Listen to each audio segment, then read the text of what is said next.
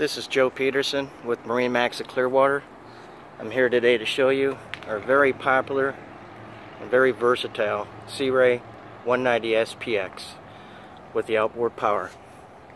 You can see the striking black hull color matches the black bimini top up, up on top of the boat. Comes packaged with a galvanized single axle trailer. Walking towards the transom, you see the Mercury Pro Series 115.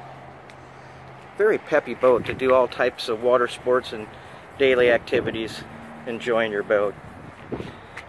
Four-step telescopic ladder. Easy getting in and out of the water for the family. Big wide area for the swim platform. Again, getting in and out of the water or even boarding from the dock makes it a lot safer. As you can see also it has the ski pylon in the back.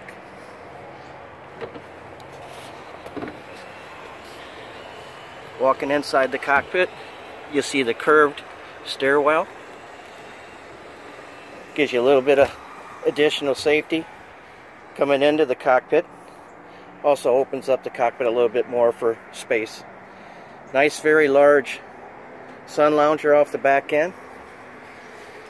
And being that this boat is outboard, you have a big cavity area in the back for all your gear you want to put back here. If ski or wakeboards, Coast Guard package equipment.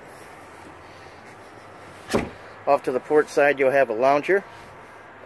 Down on the floor, ski locker storage. You got your captain seat, flip up bolster full instrumentation with a digital depth finder and your Rockford Fosgate stereo system with four speakers, two in the cockpit, two in the bow. Very wide area for people to lounge up in the bow of the boat comfortably too.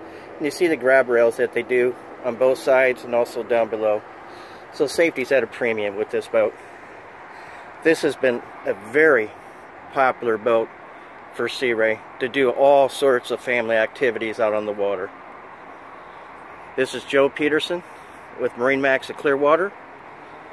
Come see the boat. If you'd like to test drive the boat, 727-637-7649. Look forward to seeing you.